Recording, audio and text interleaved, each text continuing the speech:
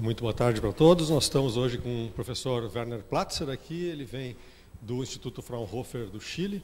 Ele é, na realidade, o diretor desse instituto, mas ele é do Fraunhofer Institute for Solar Energy Systems, lá de Freiburg. Ele vem uh, de Santiago, então, para falar um pouco para nós hoje sobre as atividades que estão sendo desenvolvidas lá no Instituto Fraunhofer do Chile.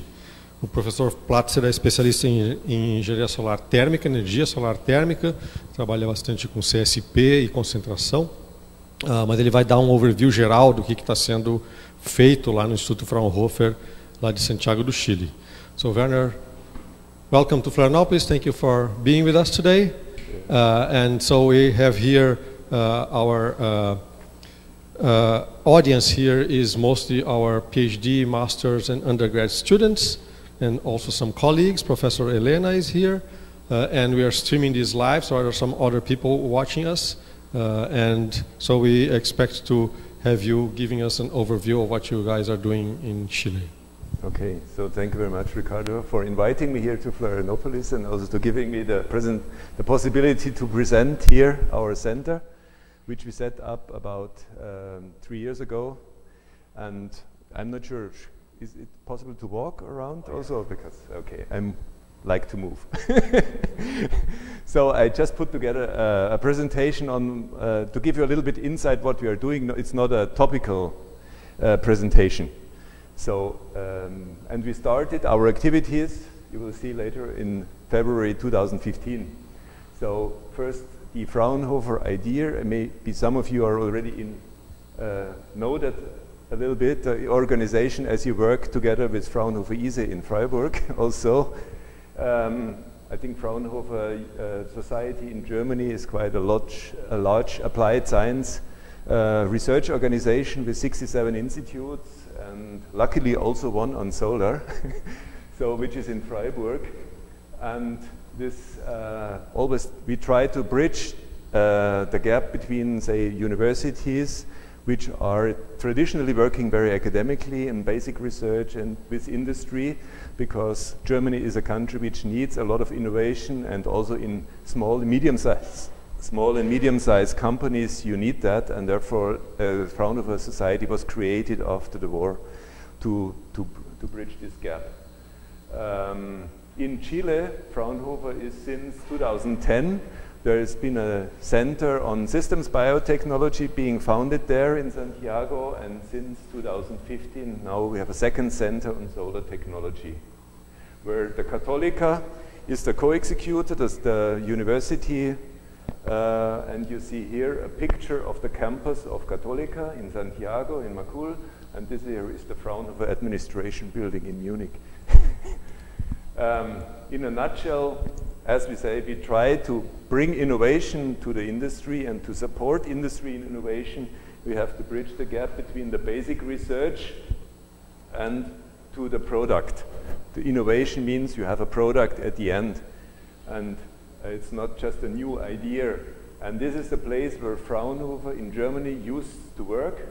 Um, of course, you have universities which are more focused on the basic research, and there are universities which are also outreaching to, to, the apply, to applying the research and bringing it the transfer of technology and the transfer of knowledge to the industry.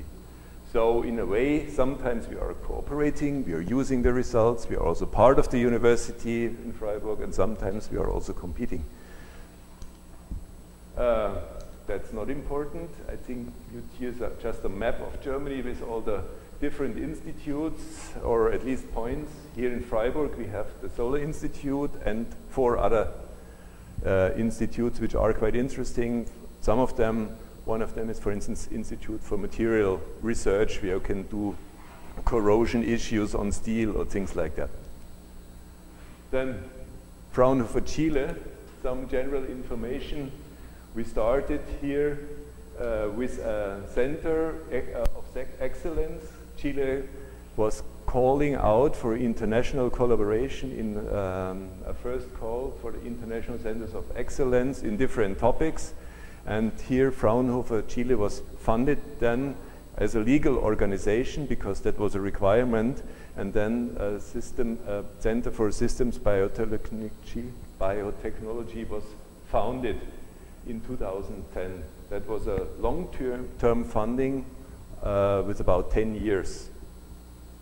And then there was a second round, um, and in 2013 there was another call, the the second round, and here we applied again with the good experiences we had and the good resonance we got from Chile. We said, okay, let's try to go in that with solar energy.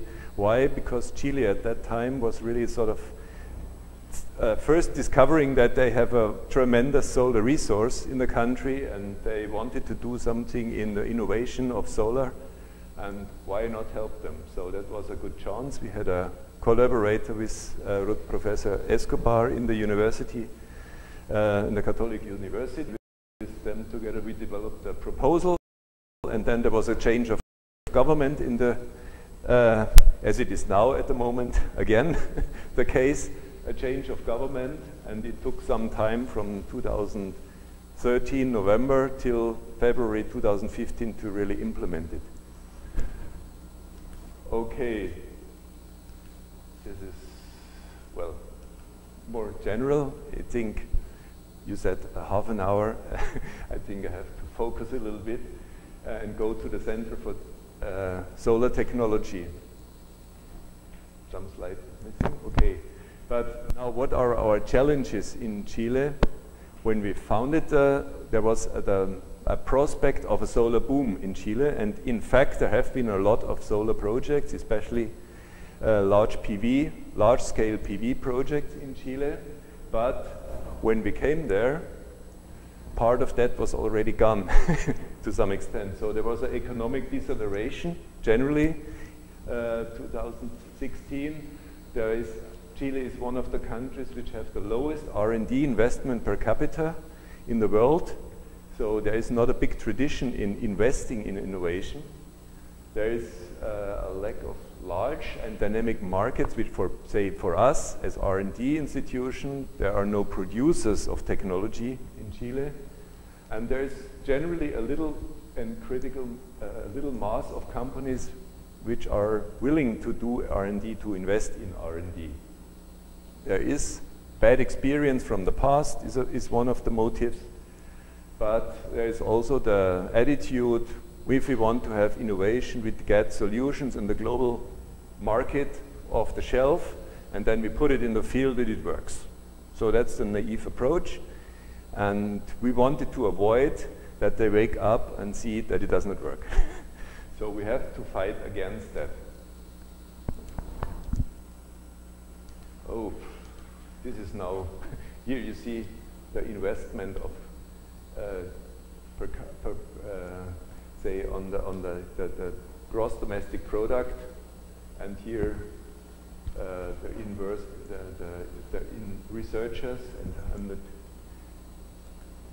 uh, so Chile is one of the of, the ones which have a, uh, the lowest numbers of research in activities in the year in the countries. So let's go now to solar. Solar energy in Chile, you see here, you have a very specific thing. It's in the dry uh, belt or in the solar belt of the of the of uh, our globe of the Earth. So we have a desert area here, and in the desert area, without humidity, you have very low absorption in the atmosphere, and you have a lot. You have no clouds. You have clear days. That means you have a very high solar irradiation, and in fact, it's the, the, the, solar direct irradiation measured in the Atacama Desert is the highest one we have worldwide. So that is certainly an advantage for installing or testing also solar systems without the need of government support, of incentives, because the solar resource is, much, is for instance, in the terms of DNI, it's about three times higher than in Germany, and even in global radiation it's much higher. It's about seven compared to three kilowatt hours per square meter in day in the, in the yearly average. The challenges, however, are sometimes because of the high altitude, there is a high UV, there are high temperature gradients, there are dust, there is salt in the air because of the mining activities there. and there is water scarcity. So that could be uh, a challenge, and we have to investigate it further on.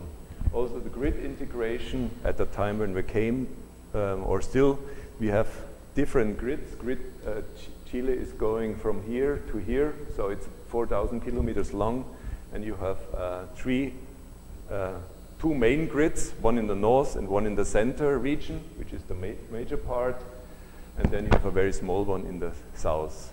And in the north, where you have the industrial customers, the mines, you have mainly coal-fired power stations. In the south, where you have the water, the running water power stations, uh, this is not connected to the north yet. And in the north, um, you could have a, a, big potential for solar, but what to do with all that? The north is less populated. You have to transport a part of the electricity to the, to the center part to really get good prices. So now let's come to the center. Uh, here some basic data. Because of the requirements which were set up by the governments, we focus, or we, we, we had a very broad focus, I would say.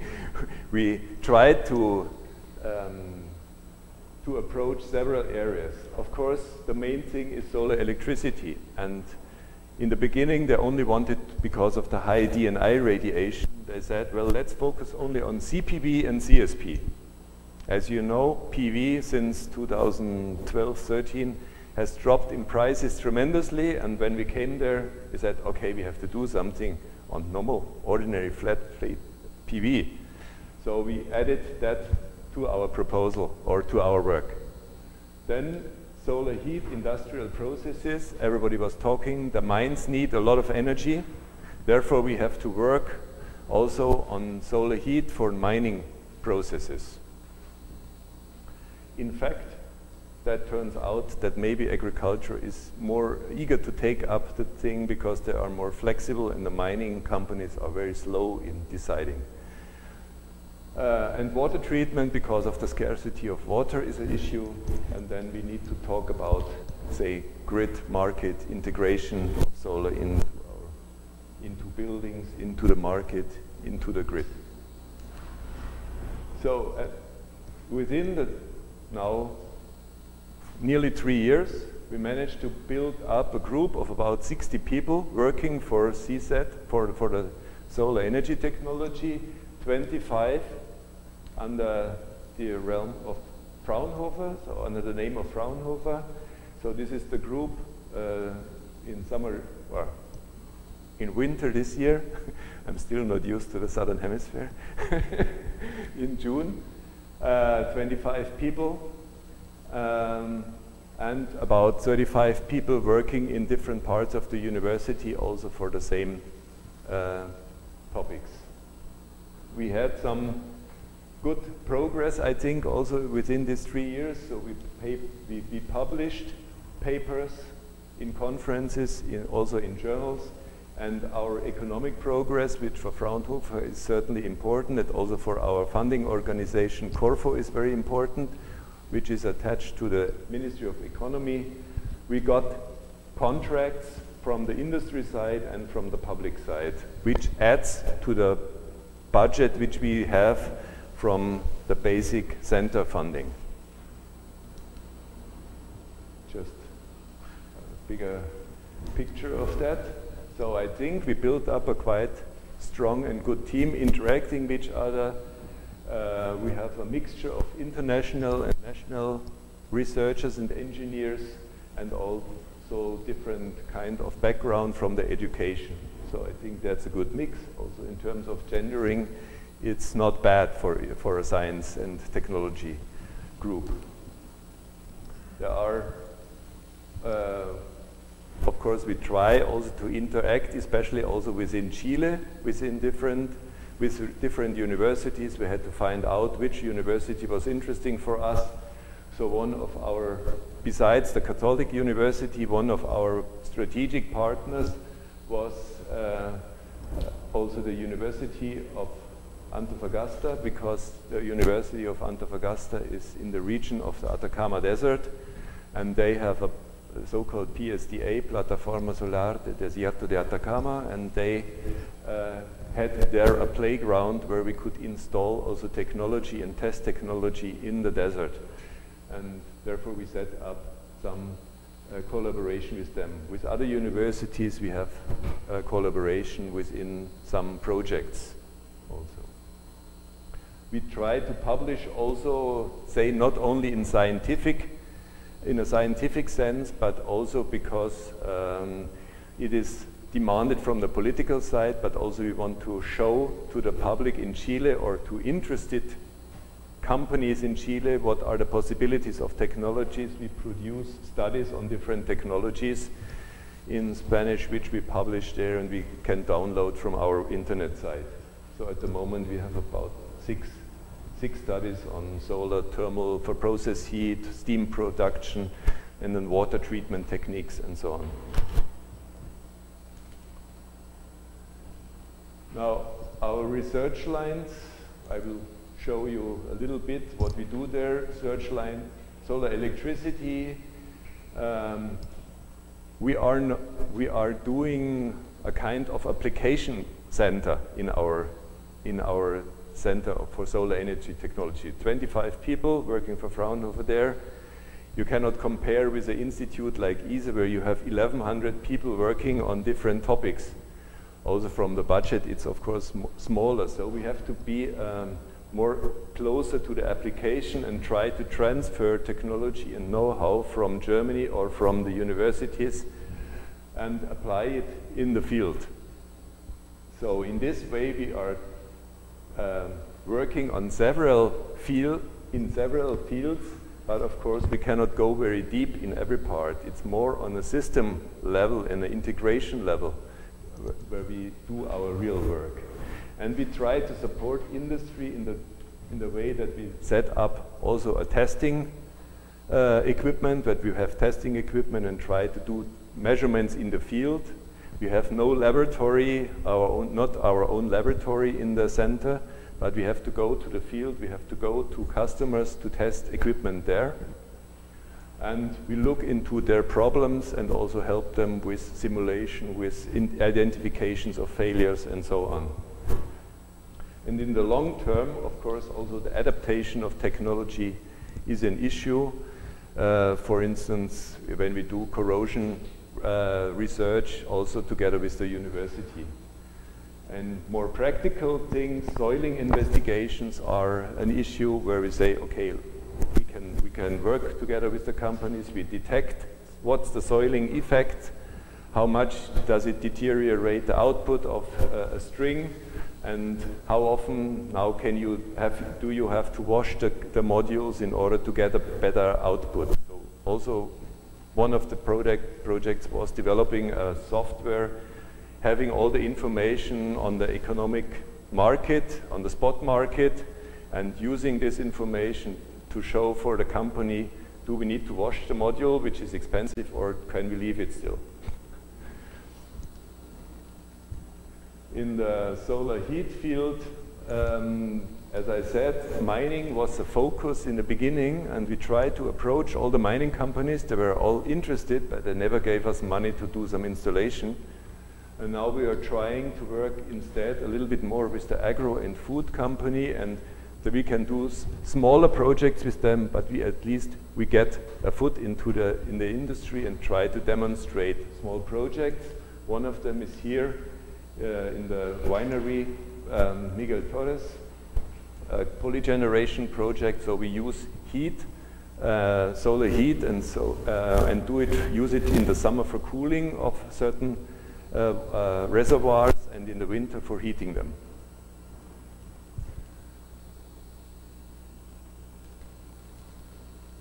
In the membrane distillation, uh, there, are, or in the water treatment, we have two technologies which we can transfer from Germany to, to Chile, and we are working with feasibility studies to sort of convince uh, industries to use them in different areas. One of them is the membrane distillation, which uses low-grade, low-temperature thermal heat in order to evaporate the water through a membrane. Uh, and there, it, this is a technology which is especially favorable when you have a high concentration of salts in the water, or we use uh, reverse osmosis uh, with driven by PV or wind. Um, and here the, the, the, energy you need for desalination is proportional more or less to the salt content of the water. So they can be used also as a combination sometimes in projects. And for membrane distillation, that's a very uh, flexible tool or a very flexible technology. We are also trying in Germany to investigate a little bit more what we can we do with industrial wastewater uh, to extract also some waste again from the wastewater, which is valuable, to recycle it in the industry. And um, well, also in Chile, we think we can do maybe something in this uh, in this part as well with the industries there, with winery, paper industry, and at some time with mining as well. And then we have the business integration, which also looks into the market and has to um, have a pulse and, or to, to hear what really industry needs in the or the central uh, regulator needs and they try to, to, to, to collect information in order to be able to respond to the needs in the industry. Here you see just the, the problem of the decoupling of the solar, uh, of, the, of the northern and the central grid in, uh, in Chile, which leads to different prices in the market at the moment. And when there is a, there's a plan to bring these grids together now next year, and in, from this time, I think the production in the northern grid could be more uh, uh, economic because, and from then on, they need also to clean the modules more often. So some first project, I think um, one of them, which is a nice project because we really did some installations, three installations of so-called agro PV, a combination where you have photovoltaic panels above your plants so a double use of land, and we have different plants below these panels. So with our Center for Biotechnology, they monitor the plant growth and how that changes with the different shading situation. And we also monitor humidity in the soil and, uh, of course, also the output of the PV power plant. At the moment, we work with very conventional uh, steel construction, but in the future we also want to see whether we can uh, use more local materials or people can do more on a, on a self, uh, do-it-yourself basis also and try to invest that. Also we need to build up a database, which plants are using how much shade and uh, from when on it's getting uh, uh, so it depends really on, on, the, on, the, on the region, on the plant, on the irradiation, on the shading part. So it can be uh, quite a lot of research which can be done here, and this is actually nothing which where they do a lot of work in Germany. So we can add here a substantial contribution in Chile, really. Uh, that I uh, have shown you just to see we have here a, a, a, project which where our part was only 25,000 euros or dollars in order to do some consulting and failure detection. And we found some failures, only we did not have the money to cure them. So that was another problem, of course, that you need some additional investment. Um, other studies we do is look, for instance, here a, for a mining company, what is the potential for the area they have in their mine and what is uh, potential for wind, electricity, what prices could be produced there. And we hope that with this kind of small studies, theoretical studies, we can make them, an, uh, we can create an appetite of the company to really invest also in technology.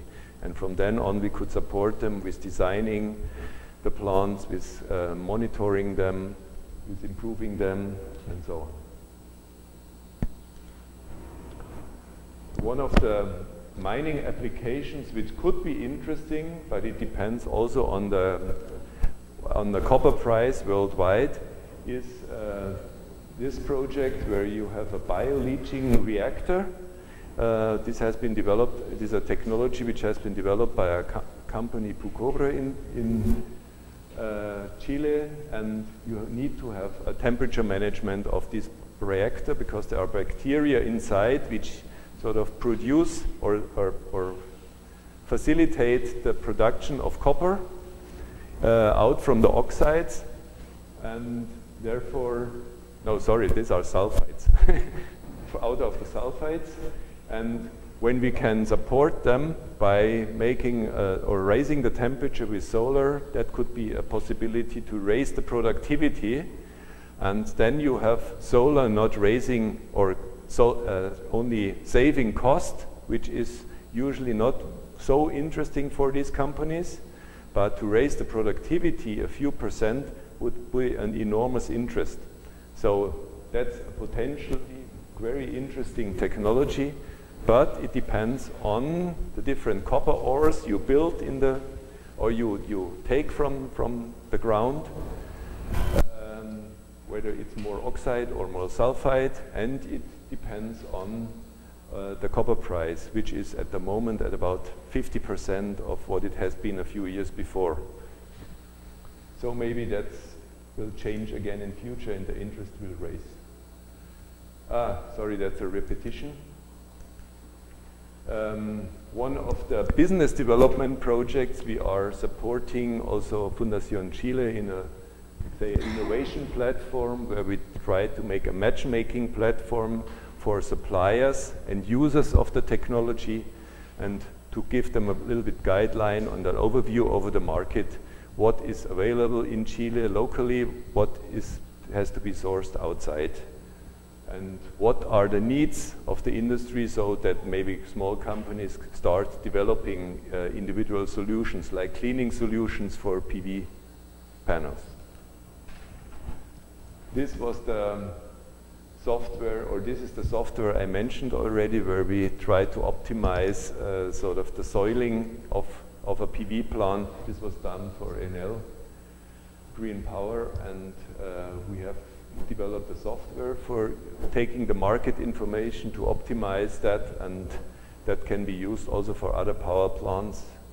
It was a good collaboration with the, with the uh, university and that is now sort of, we can license that and use it also for other power plants.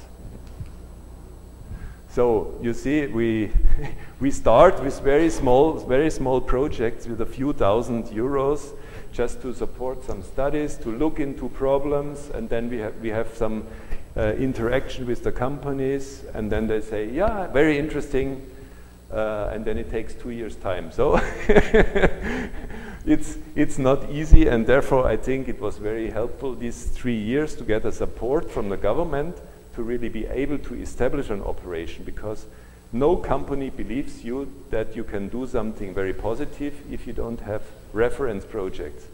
Now we have, say, our first reference projects in the field. We know we have another project. We won a project also together with uh, other universities and international players like ISC Constance and INES in France on the development of a PV module for the desert of Atacama. So we get our foot into larger projects, also public uh, funded projects and so we are looking quite optimistically into the future. And now we have a phase where we say, okay, now we have to apply for the second phase. Otherwise, our money will be cut to zero and we have a problem. So that's what we did now. And then they ask, what are you going to do in future? We started very broadly, and now we wanted to focus a little bit more. We have identified some issues on what did, what did we identify? We said, okay, let's streamline a little bit our organization. We only have one research group, which is called photovoltaic system, and one research group, which is solar thermal systems. And actually, when we do membrane distillation, uh, that as an industrial process, we, we treat that within the solar process heat. And we have some issues which are short-term, which can, uh, where we can do short-term projects together with industry because they are interested in very short duration projects. That's durability assessment, quality assessment, measurements, testing in the field, and you can do some system optimization for specific projects like PVRO or hydrogen generation with photovoltaics or uh, maybe distributed uh, generation with batteries where you have increased the level of your auto consumption. This is something where then in Chile we have to look into the regulatory field, not only in the technical field and so on. And in solar process heat, that's also something where in principle the technology is there. You only have to import it to produce a system out of that, a good system to design it very well and then to demonstrate it that it's working and then it could be a sort of uh, effect of copying it again in other in other parts of the industry. And then there's a long-term development that's a political aim of Chile to develop CSP further on and especially the storage part here because they have the nitrate for the molten salt technology in Chile in the solar fields and therefore, here we we'll, certainly will rely on government research and government programs. And there is a transversal project. Many problems are very similar. Solar irradiation, soiling, uh, corrosion issues you have to investigate for PV and for solar thermal systems. So don't duplicate that. We do that in a so-called transversal project. And actually here, most of our university colleagues are working also in these transversal topics. So first work package is the optimization of specialized PV systems and looking into the operation and maintenance of that. And the second, and there, there is the part where we really want to do uh, uh, our own research together with ISE is this agro PV development. Imagine that in agri agriculture you have now the step to agriculture 4.0 where you lose, use intelligent sensors, drones, whatever in automatized, automatized projects and you need an energy supply for that and that can be done within our own uh, structure in this kind of agro PV systems also water pumping or things are, is interesting. Use of other materials like organic PV uh, films could be uh, investigated. What's the spectral impact of organic PV on a, on a tomato plant? Whatever. So there are a lot of questions here which we can use. And then we have a project which is a sort of a very ambitious, but we don't do a lot of work. We are just trying to make up a business plan here. Chile offers to to sell lithium to a local production cheaper than the world market. So this is an opportunity. When we, can, we have developed technology and we have system technology in Fraunhofer ISE in Germany, if there would be a business case here, which we have to explore within this work package, then there could be a possibility to set up with international investors and international companies a, a, battery factory in Chile. so our idea here is not to do the, really the research on that, but to look into the business case and see if it's possible, yes, and we can convince people to invest, then we do it, and then I think there would be a large project for the future, and it needs a lot of money. If not, we just stop it. So. Uh, okay, this is just doing some work on testing and in different levels. Um, on the CP, uh, on the on the CSP, one of the main fields is the work on the electric uh, on the on the high temperature storage, together with the University of Antofagasta, and within the our Catholic University, we do some corrosion research on molten salts the idea is that lithium salts, lithium nitrate salts, uh, reduce also the corrosion to some extent in the, for construction materials. So you can use possibly cheaper construction materials, cheaper steels for the whole systems. But lithium nitrate is more expensive than the other nitrates usually used. So you have a trade-off that needs some investigation experimental on, on the economic side. And also we have the approach of uh, single sto tank storage. We, at the moment, the commercial solution is a system which is called two tank storage, a cold tank with 290 degrees and a hot tank with 390 degrees. And uh, with a single tank, you can maybe uh, reduce the costs. If also another possibility is to use local filler materials in order to increase the thermal capacity. So there are some ideas here, but as usual, we try to explore ideas, and if they are not successful, we have to step back and say, okay, let's focus on another thing. That's uh, a bit a different way of working than in a tra traditional, say, university research group. And solar heat for processes, industrial processes, I think there are possibilities, but we need a good case demonstration because at the moment the trust in this technology is extremely low in Chile in solar thermal at uh, in any case whether concentrating or non-concentrating. They have very bad experience from the past and you know why? Because uh, of their attitude usually. Because always the cheap solution is the best and the cheap solution always fails Therefore, they have bad experience, and we have to show them it's possible to do it really right. And this is, uh, say, we have to go over this uh, barrier to really convince people there.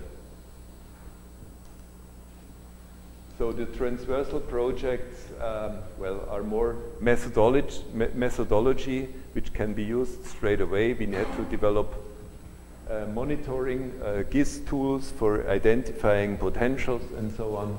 And we have to do also some system analysis. We want to extend our work here, especially in Chile. They are always talking, especially only on electricity, but we know that electricity is not the only solution. You should look also, especially for this large country, also in uh, fuel production by renewables and to see whether maybe also what, so you have uh, the question of inclusion of the heat, gas and fuel system in the scope of studies in the system analysis. And we have models for that developed in Germany, but we could transfer them maybe to Chile and we have to interest, in this case, probably a customer like the Ministry of Energy. So that's something to be done here.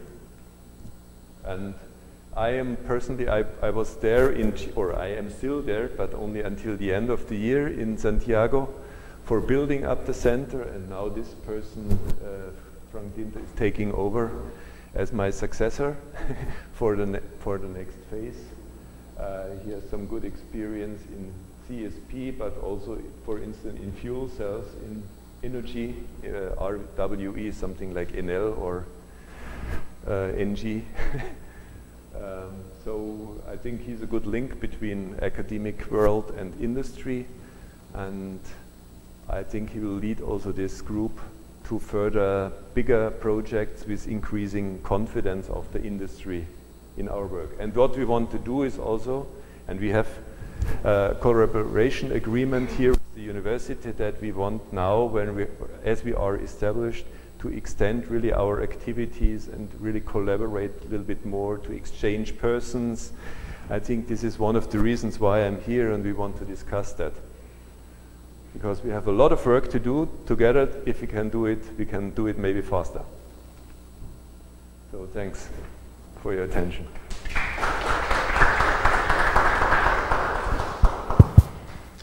Thank you, Werner, for this very uh, quick introduction of what you're doing uh, at Fraunhofer Chile.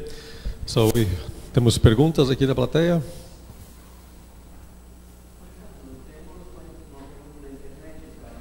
Ok, você quer um microfone?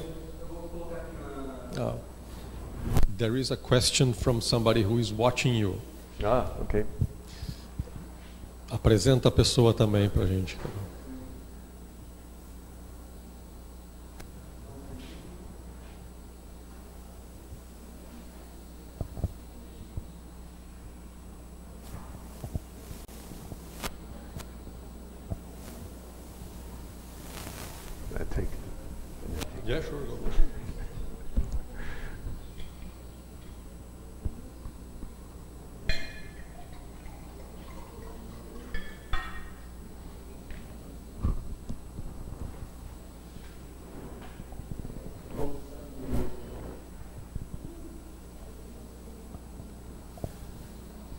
That's a question for you. Okay, no, we don't have, any, up to now we don't have any PV integration projects with biodigesters, so I actually, I have no, uh, no specific knowledge on biodigesters, so, but I think that is something which is very similar. They, they should probably work with very stable conditions normally, and PV does not provide stable conditions, but fluctuates. It's the same system like electrolysis with hydrogen or reverse osmosis. You always have a, a process which likes to have a constant input of power, and then you have to work with PV.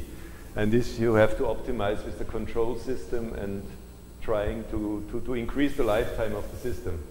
Yeah, or, or, have some so buffer. It, you I, need I some see buffer. some parallelity, but I, specifically here I don't have uh, yet experience. Uh, in your uh, uh concept of, of using CSP in Chile, uh, it seems to me that because of the irradiation levels, it makes so much more sense than to uh, to put PV, for which there is no uh, not much experience on the long-term uh, performance of PV under so such harsh harsh conditions. So uh, since CSP is very established also, why hasn't any CSP project really gone ahead uh, in Chile? Mm -hmm, mm -hmm. Well, I mean, the, you, you, know the world market of PV and of, of CSP, and you see that there's about a, a factor of I think about 100 between them in, in terms of cumulated installation and PV is running faster and faster and CSP is going slowly. I mean, luckily China decided to, to invest in CSP and therefore there are projects going on worldwide. So the prices of CSP are coming down. When you had the, uh, the big rush in CSP that was due to the funding possibilities in Spain, um, the prices were at about uh, 25 cent, euro cent per kilowatt hour or $250 uh, per kilowatt hour, whatever. Um, so this is too high and it was due to the funding uh, scheme. So there was clearly a political, um, I think it was a, a, political mistake to do it this way, how they did it there. Not adapting the price and, and, and trying to force the companies to produce more cheaper. Since this economic crisis in Spain, the market in Spain was more or less dropping out. Companies from Spain tried to put works or put projects worldwide, South Africa, India, um, also in Chile with Atacama 1 with the solar tower project. So there is a, or Australia, so there is a push to, to, to lower prices and in Chile actually uh, we got now this uh, in the last auction in November, I think, or was it, yeah, in November this year. Um, SolarReserve as a tower developer, solar tower developer, was uh, uh, bidding for $52 per megawatt hour. And nevertheless, they didn't get it because PV was bidding for 21. yeah, so this is six years ahead. Okay, so I think the message is we CSP can, can get down. You know, the Sunshot program of the United States said we want to have a target price of $50 per megawatt hour. The technology reaches it, but then you have to see how the market is responding. And in Chile, you have the strict philosophy that there is no intervention from the government. So they will not give any incentives at all for no, no technology. Market is everything. And this is very difficult to develop in an early stage for a technology. The only chance is, I think, and that's the long-term vision of the government, that due to the fluctuation, you need some storage in the system. Mm-hmm. So the one bet is electrochemical storage will win, the other bet is CSP will win. But the need for that, according to the long-term vision of the, of the government in Chile, is that you need that maybe 25, 29. So in, in, in about 10 years' time, if there are some companies left at that time, you can do it. Yeah, so this is, the, this is the political problem. It's a very big risk to bid for PV at 21 cents or $21 yes, yes, per I megawatt think hour. So, but you first you have to make, say, a negative um, um, experience, and then you see it's not working this way. Then and then maybe the government reacts again. I think in terms of regulation, they're thinking about now how to value, how to evaluate also the, the storage capabilities. So that might help. Uh, this 50 cents was with storage, the CSP? Yes, yes. Okay. Yeah. But actually, it's also it's also a com combined hybrid CSP PV plant. Mm -hmm. So I think it's um, 150 megawatt tower and 150. So 100 megawatt or 120 megawatt PV. So it's a mixed plant. Alguma pergunta mais? Sem perguntas. Oh, I have another question about the soiling. Mm -hmm. The mm-hmm. soiling, we are seeing a lot of soiling in some of the projects that we have here in Brazil. And the soiling is very different depending on where you are mm -hmm. in, mm-hmm. in, in, this country. Uh, in, in Chile, uh, the soil uh, is typically sandy soil. What, what kind of uh, uh, soiling uh, countermeasures do you take? It's washing modules with water, cleaning them, yeah, dry yeah. cleaning. What, what is the, the, the solutions that no, you are, are seeing? At there? the moment, there are several, uh, say, companies trying to develop cleaning solutions, washing solutions. Because usually, uh, when you go to, say, uh, Intersolar Europe and -huh. you see the the the washing rigs, the equipment, Mm. They usually use uh, water. Yes, yes, they uh, use water up to now. Yeah, but in, in many of these places there is no water, so. Well, yeah, you have water, but the water is uh, costs. So the question is to use less water and to have a more efficient technique. At the moment, they use the, the, the trucks with the rotating mm-hmm. brushes mm -hmm. very often in the in the fields. Which is still using water. Yeah. yeah.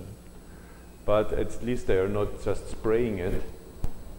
Oh yeah, yeah. which and, would be and and there is a company Adrox trying to develop say anti-dust coating, mm -hmm. um, but we haven't had yet results on that. Uh, so are you involved? Is uh, is Fraunhofer Chile doing any uh, research on on this soiling and and uh, ways to avoid the soiling? We had applications which were uh, not uh, granted together with companies. Mm -hmm. Uh, one application was uh, on, a, on a film which we would, should apply also in existing plants in the field with a, say, a durability of two to three years, a very cheap solution, but which should reduce the, um, which should reduce the soiling. We only did some preliminary tests and we found out that in Santiago it was counterproductive. Mm -hmm. Because of the kind of soiling? Yes, um, mm. and um, also it's a diff, it's a diff, it's not a desert climate. It's also it has some rain. It has some aggressive industrial atmosphere. Mm. And in the desert, we wanted to prove it and want to do more investigation, but we didn't get any grant, or the company didn't get any grants, as the company was a small company. Um, they, well, they didn't do the research then. Okay, I'm sure this is a topic that we can mm -hmm. are very much interested in, in discussing yeah. more with you. And there are many companies in Brazil mm -hmm. that uh, have the, the research funds to do that and will mm -hmm. probably have that problem. And uh, yeah. this is a, a, a, problem to be tackled here in Brazil. At the moment, we are just with one company, a small, also a small company in, from Arica, from the uh, mm. north of Chile. We are trying to help them in developing a, a robot for cleaning. So everybody has a different approach there. We will see which one is the better yeah. one. I mean. Okay. More questions? In that case, we thank you again. Thank you.